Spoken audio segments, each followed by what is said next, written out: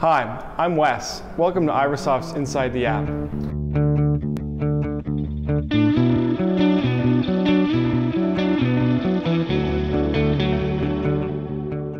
Today we're discussing a solution we made for Tamarack Homes, an Ottawa area home builder.